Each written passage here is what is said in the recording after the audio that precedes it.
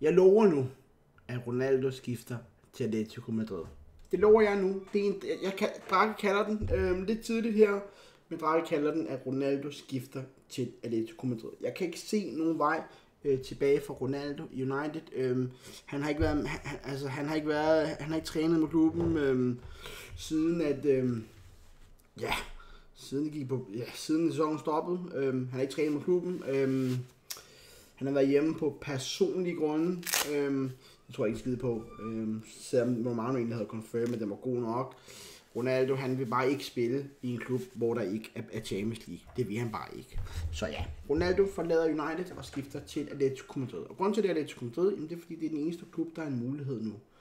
Og Ronaldo vil sådan set passe fint ind i den måde, Atletico spiller på. Øh, ja, han kan spille på alle måder. De, ved, de, spiller, de spiller defensivt øh, og så videre, så videre.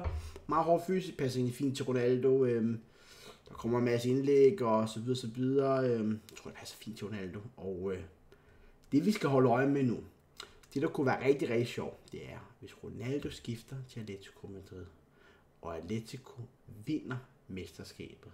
Det kunne være, det kunne, altså, den mest, altså, mest gode spiller Real Madrid, som går det ondt med Real Madrid, det vil jeg sige, det kunne være, det kunne være vanvittigt. Og hvordan tager de imod ham, hvis han skifter til Atletico Madrid? Selvfølgelig er bare så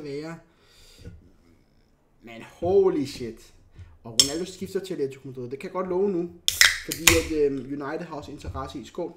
Vi drikker, mange, vi drikker rigtig mange Pepsi Max for tiden. Rigtig, rigtig mange. Jeg købte 24 her øh, for nogle dage siden, og øh, jeg har snart drukket dem alle sammen. De flyver ned. Det er helt sygt.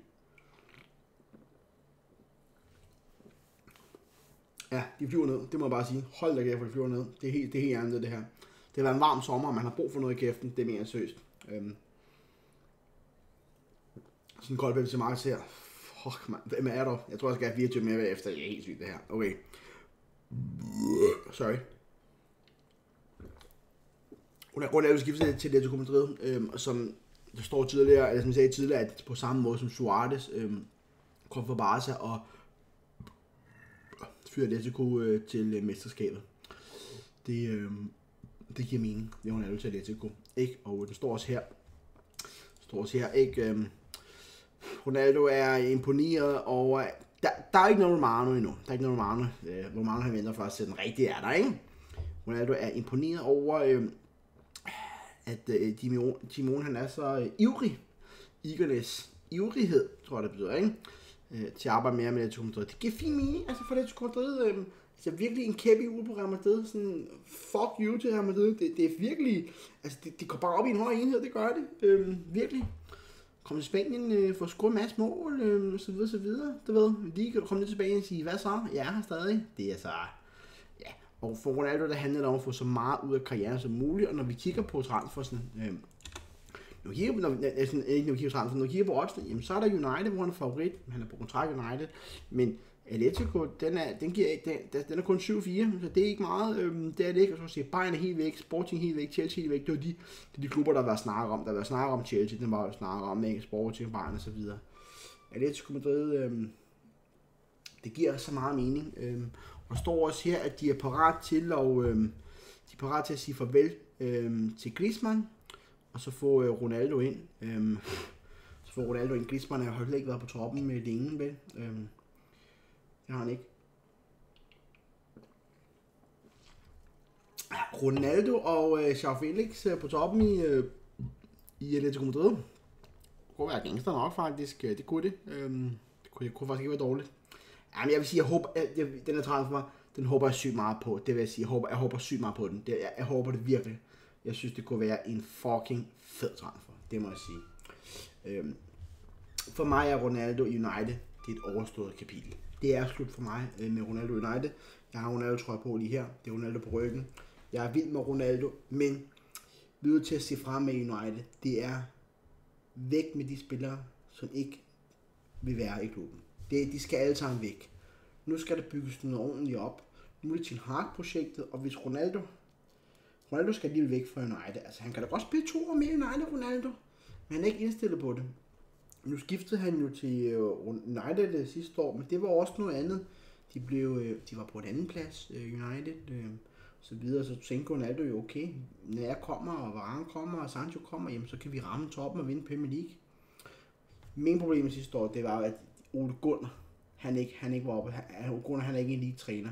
Og den, den sæson, United blev to der skal vi huske, det var coronasæsonen, hvor der ikke var nogen tilskuere på stadion.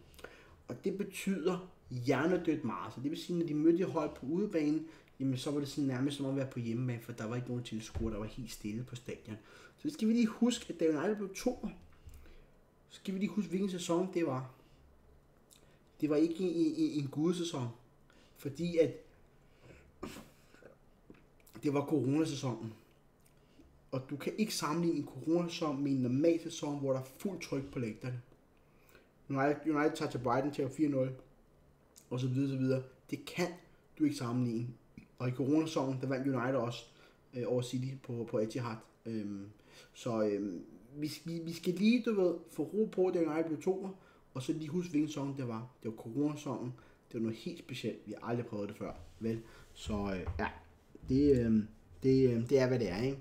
Ronaldo, han er færdig United. Øhm, det er 100% på. Jeg er 100 på det, ikke? Jeg er 100 på det. Og ja, United spillede 2-2 med Villa. Ja, men det viser bare, at det var i preseason, at preseason, at man skal ikke tage preseason for så seriøst.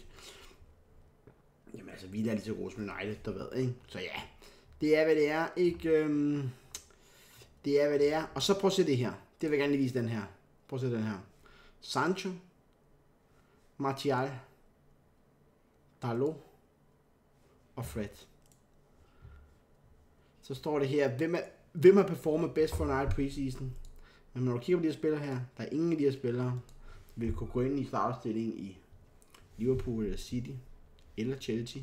Øh, eller Chelsea. Heller ikke Arsenal, og heller ikke øh, Tottenham. Du ved vel. Så det er også det, vi snakker om den anden dag. De har bare slet ikke, spillerne er bare ikke gode nok i United, hvad? Det er deprimerende. Jeg skal selvfølgelig have, den her trøje skal have, den glæder mig til at købe, den her trøje. Den trøje skal også have, den glæder mig ikke til at få, på grund af kraven. Men øh, ja, når nummerne bliver offentliggjort med United, øh, så skal jeg i hvert fald minimum en Eriksen. Det kan godt være, det bliver to Eriksen jeg og så skal jeg have en til. Det må vi finde ud af, se om de signer en anden. Hvis de nu signer Anthony for eksempel, så kunne man jo tage Eriksen og Anthony. Det kunne være, det kunne være giga nok, ikke? Skal vi se, om der ellers øh, sker noget, ikke? Øhm Chelsea er en, der har en agreement, som gør, at Lukaku nu skal blive to år ind der. Det er fint nok, man ikke kan skifte permanent. Og så er der ham der, han med mig, Britt der. Øhm, så han skal måske lånes ud, men det kan ikke lige, øh, det kan ikke lige, det kan ikke lige, øh, det kan ikke lige tage seriøst, vel? Så ja, vi ser på det. Øhm, det er sådan set, det er stille og roligt. Øhm, skal vi tjekke Romano lige hurtigt? Øhm, uff, jeg tror ikke, der er noget gangster i Romano lige nu. Så er det det, der kun det med Barca. Øhm, vi skal lige vende på, øh, vi skal lige vende på den Here We Go, ikke? Øhm. Men ja, det, øh, det gik nok, det der med øh, Romano, eller det der med øh, Koundé, første Chelsea, og så, øh, vi kaldte det måske lidt hurtigt Chelsea, men øh, nu ser det som man er på vej til Barca. Barca, de er helt, øh, Barca transfervindue, det er altså, det går nok, det er sygt nok, det er det, ikke? Ja, okay. Og Conte, ja, Ja. Situationen er meget clear for Harry Tottenham. Ja. Kena, Kena er selvfølgelig vigtig. De snakker også om det tidligere, det ved med, at Kane, jeg tror ikke, at Kane forlader Tottenham. Han, han skal prøve Kane. Kan han vinde mesterskabet med Tottenham? Fordi et mesterskab med Tottenham svarer til at vinde 10 mesterskaber i City. Minimum. Minimum, det gør det. Sker der noget andet i du? Neymar vil gerne blive PSG. Ja, jeg kan godt tænke mig at se Neymar et andet sted, øh, men han bliver PSG. Som jeg siger, at være spille PSG, det er bare, det er bare, Altså, det er, bedre, det er bedre at spille i Vejle end PSG, end det er det. Altså, det er bedre at spille i Horsens. Horsens er en gudeklub i forhold til PSG, det er det bare, ikke? Det er det bare, ikke? Og så bare så sign en eller anden Unai Hernandez. Han er ikke så gammel, vel? Navas er meget frustrated med situationen. Hold nu kæft, hvad det jeg pisser mig så meget af. Hvorfor har de både Navas og Donnarumma? Og sidste søndag delte de spilletid det, det er en hjernebødning. Få sendt nu Navas videre. Navas kan spille i en lækker klub. Hold nu kæft, mand. Du købte Donnarumma. Bedste spiller, øh, han blev bedste spiller under EM. Hold nu kæft, mand. Send nu Navas videre. Hvad fanden laver de med to verdensklasse målmænd? Så kunne der ikke andre klubber, der har to verdensklasse målmænd. Det er kraft med ikke. Du har en, der er klar første valg, og så har du en anden målmand, som er et niveau lavere end første målmand. Det er den måde, du gør det på, fordi chancen for, at anden målmand skal spille, den er fucking lille. Ikke? Det er den, man du gøre det på. Du har sgu en anden målmand, som er god. Han skal ikke være lige så god som den første. Og Navas er jo, er jo fandme god. Ikke? Det er fandme dumt. Ikke? Og så med Koundé, Koundé, Koundé, har, snak, Koundé har snakket med både Chelsea og Barca? Øh, Barcelonas, øh, Barcelona kan ikke matche Chelseas øh, bud, så det må vi se, hvad Sevilla gør ved det. Ikke? Så der sker ikke så meget i dag, men øh, Ronaldoen, øh, hold øje med den Ronaldo til Atletico. Prøv at forestille dig, at Ronaldo han kommer øh, til Atletico, og de vinder mesterskabet. Shit, mand. Altså, hvis Ronaldo han, øh, han rammer Atletico, så, er det, så, er, så håber vi altså, at Atletico vinder mesterskabet. Bare fordi det kunne være så grineren. Der er no helt til Real Madrid. Jeg, altså, jeg er vild med både Real Madrid og Barca. Det, jeg synes, det er to fucking lækre klubber. Men det kunne bare være så fedt. Ligesom da Suarez skiftede fra Barca til uh, Atletico, der var det fucking fedt, du ved, at Coman bliver straffet, fordi han giver uh, Suarez til Barca. Det, det er fucking lækkert. Sådan noget. Det, det, det, er sådan, det er sådan en lækker historie, du ved, ikke? Det, det, det er sådan lækkert, ikke? Du ved. Øhm, det, det, det, det, er sådan en lækker, det er sådan en lækker lille hyggehistorie, ikke? Ronaldo til Atletico, det kunne være, jeg synes, jeg synes, det passer så godt. Jeg synes, det passer så godt. Jeg synes, det passer så godt. Øhm. Og Atletico-spilleren vil heller ikke være, ligesom, vil heller ikke være bange for ham, ligesom de er i United, der ved. Atletico, det er nogle fucking hårde hunde, du ved, ikke? Det er ikke nogle uh, øh, svagpisser, som spiller under Atletico, ikke? Det er, som Simone siger, det er store nosser, der har været, ikke? Han står, han står frem, det er store nosser, de er store nosser i Atletico, de, spiller, de spiller fucking hårdt, det passer lige ind i Ronaldo-stilen, det er så fucking lækkert. Ronaldo i den halder, han er skabt til Atletico, og øh, ja, og så, øh, ja, så hvis de kan vinde mesterskabet i Spanien, så kan han ligesom komme og sige, hey, hvad så? Og hvis de kan vinde Champions League Atletico, og Ronaldo kan give øh, Atletico deres første Champions League, samtidig med at han kommer op på 6 Champions League. Fuck, mand. Ja, Ronaldo og, de, og Simeone, det er et match made in heaven. To kæmpe vindertyper. Det er kunne være så fucking fedt. Ikke? Så jeg tænker, vi behøver ikke snakke så meget lige nu. Øh, stille og roligt, vi fucking er her. Vi rammer toppen i turen og så videre, så videre. Og så er der en eller anden base her, der har lige just in. Mathias Detel, øh, en eller anden, jeg kender ham ikke. Øhm, ja, men han skifter i hvert fald øh, til Bayern. Aner ikke, hvem det er, men fint nok. Øhm, det er, han er en eller anden ung mis. Fair nok. Men altså, Ronaldo til Atletico Madrid, gutters. Og skal vi se på, skal vi, skal vi se på oddset, øh, der sker et eller andet. Jeg skulle, skulle kigge på kun det, øh, De Jong er stadig det samme, så der sker ikke en skid med De Jong. Altså, jeg har sådan set glemt, at De Jong øh, transferen eksisterer. Øhm, det vil sige, at Tour de France har virkelig slået mig ud af kurs med den. Øhm, så ja. Ja, vi skulle tjekke, vi skulle tjekke kun det. Men af en eller anden grund, så er oddset på kun det helt væk. Så er der ham der Pau Torres jo, ikke? Pau, Pau Torres, som der, ham har ikke været så meget. Der var jo rigtig meget snak om Pau Torres, at øh, han skulle til dit og der, du har slet ikke hørt noget om ham. Øhm, men altså, vi skal også huske transfervinduet jo. Altså, det, det er den 23. Øh, juli i dag. Og øhm, altså, transfervinduet, det, det, det er fucking åbent i år en måned mere i en måned og 10 dage mere. Du ved, altså det, der er virkelig lang tid tilbage i transfervinduet. Så, øh, jamen, så tænker jeg, at det sker ikke skid. Lige pludselig, så, kommer der, så sker der fem store handler på en dag. Du ved, det, det sker der. Ikke? Det gør der. Og, og, og de er også, altså man skal også huske på, at transfers, jamen, øh, alle har interesse i, at folk skifter. Spillerne skal få ny løn, agenterne skal have penge osv. osv. Transfers, det, øh, det har aldrig været større, og det har det, det, har det simpelthen ikke, men så ja, altså jeg må simpelthen sige, at Ronaldo til Atletico, jeg håber virkelig på den, jeg håber på den, fordi United, de skal ligesom, United skal jo videre i livet jo. Ikke? United skal videre i livet. Nu skal der et nyt United til, og så synes jeg, det, så synes jeg, så må man leve med Martial. Og så må man få øh, Martial, og så må han få en eller anden backup, en eller anden, ja, en eller anden Depay, på man låne Depay måske et år, så ryger begge to næste sommer, og så kører man en, en stor angriber i et eller andet. Nu, nu, nu er det til en hardt projekt, ikke? Og nu er det selvfølgelig første sæson her, det er begrænset, hvad vi har forhåbninger, men jeg vil sige, at selvom jeg bliver syv, så, så, så vil det være fint nok, fordi at, øhm, så, og altså fordi oprydningsprocessen i United er så stor, der er, ikke? så det er sådan helt, øh, helt vanvittigt. Så man kan ikke tillade sig, men United-fan, der kommer rigtig mange skuffelser. Hvis, hvis man er United-fan og tænker, okay, de har haft en fed preseason, så få ro på, niveauet ned, forhåbningerne ned, fordi at det, det, man skal virkelig tage det stille og roligt, fordi man skal, kan ikke forvente noget stort for United.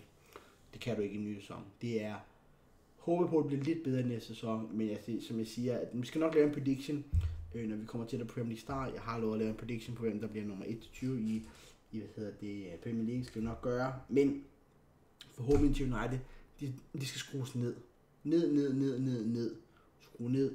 At være med at forvente top 4, det er, det er for svært, ikke? Vi forventer, at Liverpool og City igen er de to bedste, og så Chelsea, Tottenham, Arsenal skal slås om tredje og fjerde pladsen. Øhm, og altså, United, det, det ligner en 5. 6. plads. Det gør, det gør det for United, ikke? Jeg håber selvfølgelig på noget bedre, men jeg kan ikke se, hvor det skal komme fra. Øh, Sancho skal jo i gang, men jeg har ikke store forventninger til Sancho. Jeg har ikke store forventninger til Martial. I Lanka har man heller ikke store forventninger til, du ved. Martial har ingen forventninger til. Jeg har, jeg har ingen forventninger til Martial, du ved. Bruno har heller ikke nogen forventninger til. Eriksen, det ved jeg, han ved ikke, hvad for nogle forventninger jeg har til. Så er der midtbanen, der er der Fred. Han har heller ikke nogen forventninger til Van de Beek. Øh, hvad kan han, du ved, Tomme her er dårlig. Maguire han er dårlig, og så videre, så videre. Det kører bare, ikke? Øhm, det lover dårligt. Altså, de, Ja, det, det er virkelig, når, når man går igennem listen af United-spillere, så bliver man altså virkelig deprimeret, det gør man. Så jeg har ikke rigtig nogen forventninger øh, til næste sæson. Denne her sæson, der havde jeg store forventninger. Jeg havde sådan en forventninger, at United kunne vinde mesterskabet. Fordi man sluttede i to år, så fik man Sancho, Ronaldo og Varane. Ikke? Øh, jeg havde sådan store forventninger, men den næste sæson her, denne sæson her, jeg har ingen forventninger. Jeg håber bare, at det går så godt som muligt. Øhm, og, og, og man, man, når, når man møder, når man møder Liverpool, altså, så, tager 3-0, så er det, hvad det er. Men man skal ikke gå på 4-5-0, du ved, ikke? Øhm, jeg håber, man ligesom kan, kan, få, kan det være med at blive kørt over. Ikke? Altså, det skal være en buffer-sæson, det her, den har første sæson, men det er ikke nemt, og han ved det godt. Øhm, det er et, et monsterjob i en et monstersvært job. Især fordi de andre hold er så fucking gode lige nu. Ikke? Og Tottenham er på vej opad, Arsenal er på vej opad. Chelsea øh, kommer, kommer i gang nu her, ikke? Altså, du ved, det er, det er ikke rart, det der sker i United, det er det ikke, vel? Men, lad os se, hvad der sker. Vi glæder os til Premier League, og selvom man måske tror, at United får en rigtig dårlig sæson, så kan det godt være, at United bliver nummer 3 alligevel. Det er fodbold, alt kan fucking ske. Du ved, Tottenham kan lige miste skader, hvis solen og månen står rigtigt. Du ved, hvordan det er. Det kan alt. Det, fodbold, det, øh, det er ikke til at forudse. Du ved, det er det ikke, vel? Når man tror, man skal ind og til et eller andet, du ved, ikke? Man, man, man, man har, det er svært, ikke? Så ja, Ronaldo til Atletico, lad os holde følge med i den. Det kunne være rigtig fedt. Og øh, jeg vil sige, at øh, når Ronaldo han udtaler, at han ikke vil være i United mere og så videre, øh, når han ja, når han, når han, når han, når han siger, han ikke vil være det, jamen så, og når han så samtidig er 37, jamen så er det også bare farvel. Jeg var så glad for, at Ronaldo kom tilbage, men det sekund, en spiller ikke vil være i United mere, ja, så skal han også væk, ikke? Vi skal holde øje med den Ronaldo til Atletico, og som jeg sagde i starten af videoen, jeg er rimelig sikker på, at jeg sagde i starten af videoen, nu er det 17 år siden, at Ronaldo skifter til Atletico. Det, øh, det kan jeg godt love. Og hvis Ronaldo ikke skifter til Atletico, så, øh, ja, så, står, så drikker jeg en Pepsi Max. Okay? Aftale vi har. Jeg lover lige nu, at jeg, jeg lover Ronaldo til Atletico. Jeg lover, det kommer til at ske, Beppe.